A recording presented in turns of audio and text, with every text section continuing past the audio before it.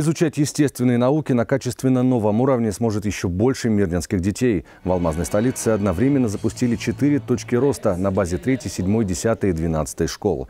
Точка роста – это сеть образовательных центров, которые создают по нацпроекту образования. Площадки открывают в селах или малых городах численностью до 60 тысяч человек. Здесь ребята смогут посетить дополнительные занятия, на практике отработать материал, изученный на уроках физики, химии, биологии, а еще разработать собственные проекты. В среду, 14 сентября, в Якутии прошел марафон открытий точек роста. К проекту присоединились 110 школ. У школьников теперь больше возможностей для участия в конференциях, фестивалях разных уровней, считают в Минобрнауке Якутии.